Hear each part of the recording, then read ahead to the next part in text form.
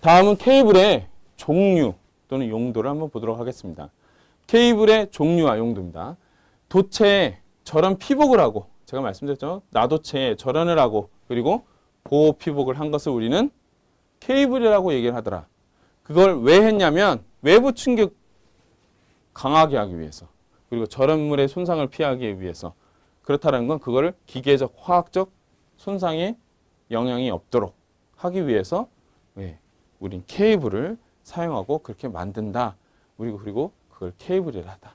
얘기를 한다는 거 기억하시면 되고요. 케이블의 정의가 되어 있고요. 케이블의 예, 특징이 되겠습니다. 이러한 케이블들은 저압, 고압, 특고압 그리고 제어용 케이블이 있다라고 기억을 하시면 되고요. 여러분들한테 문제에서 제일 많이 나오는 케이블은 예, OF 케이블이 되겠습니다. 그래서 이 케이블은요. 우리 절연을 절연을 유, 움직이는 기름을 이용을 해서 하는 걸 예, 이용을 한 겁니다. 그래서 중간에 뭐가 있습니까? 예, 기름 통로가 있는 케이블이 되겠습니다. 뭐 여러분들 뭐 절연에 대한 문제가 나오면 우리 여러분들 어떤 걸 떠올리셔야 되냐면 뭐가 떠오르나요? 전계의 세기가 떠오르죠. 전계의 세기입니다. 전계의 세기 어떻게 계산하시나요? 기억하시죠? 우리 4파이 입실론 제로에 입실론 s의 거리 r 제곱에 예, q 단위는요 볼트 per 미터 이렇게 되죠. 무슨 얘기예요? 안에 뭐가 채워져 있으면 전계의 세기 줄어든다라는 겁니다. 기름이 있으면 유전율이 올라갈 거고 전개의 세기는 그만큼 줄어든다. 전개의 세기가 줄어들었다는 건 뭐하고 연결되는 거예요? 예, 절연 파괴. 절연 파괴하고 연관이 되고요. 절연 파괴가 이루어졌다라는 건 뭐가 이루어진다는 거냐면 방전이 일어난다는 겁니다. 우리가 이걸 뭐라 그래요? 여러분들 흔히 아크 뭐 이런 거 얘기하시죠. 예, 스파크 이런 거 얘기하시죠. 그런 게 이루어진다. 전개가 높으면 전개의 세기가 높으면 절연이 잘 파괴되고 예, 방전이 일어난다. 그리고 이걸 전체적으로 방전이 일어나는 게 아니라 여기 뭐라고 얘기하면 부분 방전이 일어난다 이렇게 얘기를 합니다. 그래서 항상 이거를 줄이기 위해서 여기에 뭔가를 뭔가를 채워 넣는 거. 이걸 우리가 절연물이라고 얘기하는 겁니다. 예, 절연물. 우리 유전율이 있는 걸 절연물이라고 얘기를 하죠. 보통. 그래서 이 절연물을 뭐를 사용했다? 예. 이동하고 있는 기름을 사용했다. 그걸 우리는 무슨 케이블을 예, OF 케이블이라고 얘기를 합니다. 그래서 케이블과 직각 방향으로 직각 방향으로 우리 케이블과 직각인가 전개가 이렇게 표현되는 거였죠. 전개가 직각 방향으로 일어나는데 거기에 기름을 넣어서 이동시키겠다라는 겁니다. 그래서 출입을 한다. 결국은 집어넣는 곳이 있으면 끝단이 있답니다. 케이블이 시작점이 있으면 말단, 끝단이 있고요. 기름을 넣기 시작하면 저쪽에서 기름을 예, 빼내게 되죠. 계속 기름이 이렇게 돌고 돌게 돼 있습니다. 그래서 전체적으로 기름이 압을 가해서 가해지는 케이블 그걸 우리는 OF 케이블이다라고 돼 있고요. 단면도는 이 정도만 기억을 해주시면 좋겠습니다. 그래서 절연층 내에 항상 예, 유압이 가해져 있는 구조다라고 기억을 해두시면 되겠고요. 그래서 특징이 있습니다. 특징이 어떤 게 있냐면 그 절연유가 항상 충전부에 공급되기 때문에 공극이 발생하지 않습니다. 공극이 발생하지 않는다는 건 항상 이게 채워져 있다는 얘기고요. 이게 채워져 있다는 건 전개의 세기가 낮아졌다라는 거고 그렇다는 건 부분 방전이 예, 적다라는 겁니다. 그래서 부분 방전이 적어 균일한 특성을 가진다. 절연 내력 절연이 효과가 좋다 이렇게 기억하시면 되고요. 온도의 변화에 대한 수축 및 팽창을 기름 탱크 내에서 흡수한다. 아까 제가 말씀드렸죠. 이 OF 케이블은 이쪽 끝단과 끝단에 여기서 기름을 넣는 탱크가 있고요. 여기도 받아들이는 탱크가 있죠. 계속 예, 유압을 가해서 기름을 계속 흘려보내서 이쪽으로 빠져나올 겁니다. 그렇다는 건 여기에 온도 이런 것들이 가해지면 우리 유동성 물체 온도에 가해지면 부피가 예, 수축하기도 하고 팽창하기도 하죠. 그런 문제들을 어디서 해결돼요? 여기하고 여기에서 해결할 수 있다라는 겁니다. 그렇다라는 건 사용 온도가 높은 곳에서도 사용할 수 있고 그죠? 좋다. 그래서 주로 어디에 사용하느냐? 대용량 송전 용량을 사용한다. 그래서 어떤 때? 예. 66kV 이상의 특고압 선로에 사용한다. 라는 게 우리 OF 케이블의 예, 특징이 되겠습니다. 그래서 OF 케이블이었고요. 다음은 EV 케이블입니다. 우리 EV 케이블, EV 케이블은요. 명칭만 알아두시면 좋겠습니다. 어떤 거예요? 폴리에틸렌, 절연, 비닐, 시스 케이블. 우리 항상 그래서 제가 말씀드리는데 우선은 약칭에 대한 약칭, 약칭에 대한 거. 우리 요거 뭐 어떤 약칭이에요? 예, 전선에 대한 약칭입니다. 전선에 대한 약칭. 전선에 대한 약칭은요. 예, 크게 세 가지 부분으로 나눕니다. 하나, 둘, 셋. 첫 번째 부분은 어떤 걸 얘기를 하는 거냐면 도체에 대한 얘기를 할 거예요. 도체를 어떤 걸 쓸 건지. 우리 도체 어떤 게 있었나요? 예, 구리가 있었고, 예, 알루미늄이 있었죠. 그래서 구리로 얘기하면 C라고 썼어야 되고, 알루미늄이라고 얘기하면 A라고 써야 됩니다. 그런데 C는 그죠? 누구나 구리도체 사용한다고 하기 때문에 간혹 생략을 하고요. 알루미늄으로 쓸 때는 반드시 알루미늄이라고 써 있습니다. 그 다음에 나오는 거는요. 그 다음에 나오는 거. 요거 절연물입니다. 어떤 게 있었나요? 폴리에틸렌, 비닐, 고무, 가교 폴리에틸렌. 보통 주로 이런 게 많이 사용되죠. 그 다음에요. 얘는요. 얘 보호 피복입니다.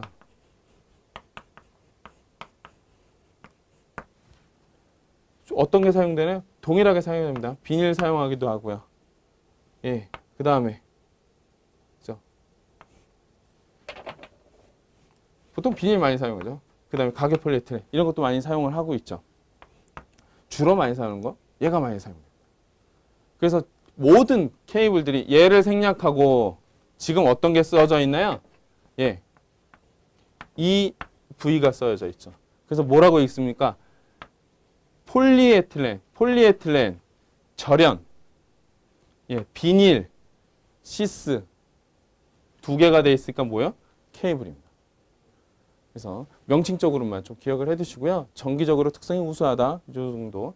그 다음에 단점으로는 그죠? 열에 비교적 약한 단점이 있다. 그래서 EV 케이블이 되겠고요. 다음 CV 케이블입니다. 어떻게 읽습니까? 여기가 C고요. 여기가 V죠. crosslink, 가교 폴리에틸렌 절연, 비닐 sheath 두 개 있으니까 예, 케이블이 되겠습니다. 그래서 명칭 좀 기억을 해두시고요. 뭘 개량한 거예요? 그 EV를 개량한 겁니다. 당연히. 그래서 EV보다 내열성, 내약품성, 기계적인 특성, 그 다음에 전기적인 특성이 예, 우수하다.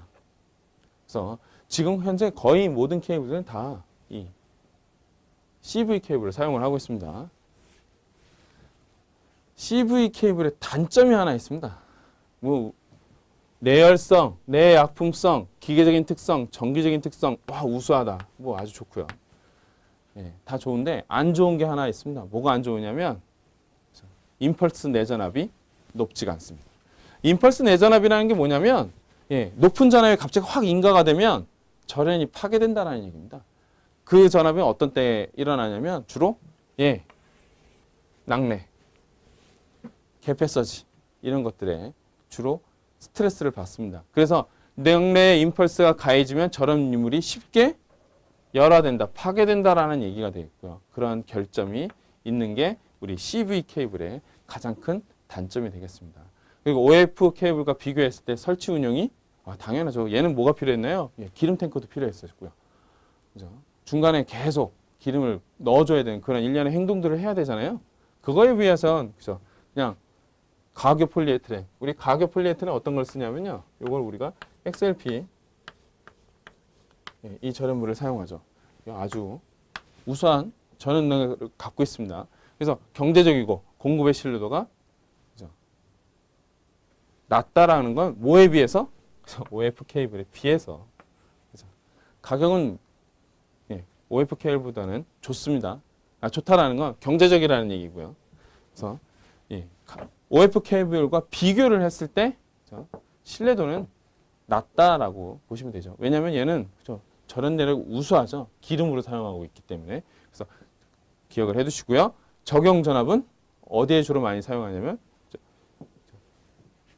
660V부터 5,500kV까지 주로 광범위한 범위에 사용이 된다 라고 기억을 해주시면 되고요. 요거 하나 같이 좀 기억을 해주시기 바랍니다.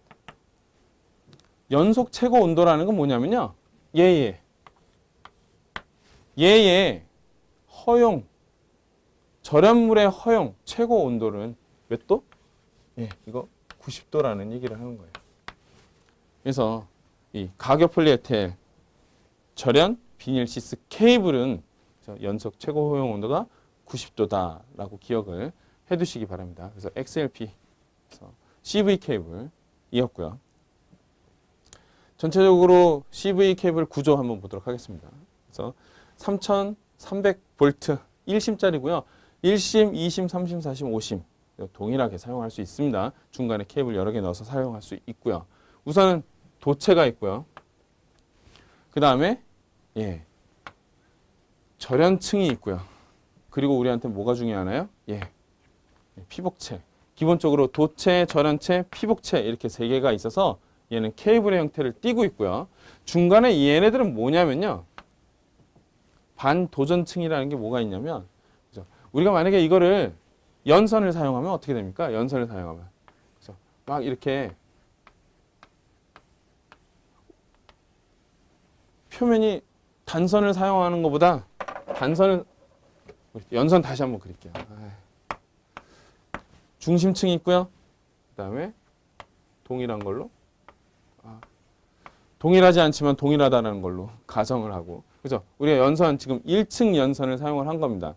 그렇다는 건 여기 표면이 지금 이렇게 울퉁불퉁하다는 얘기죠. 예.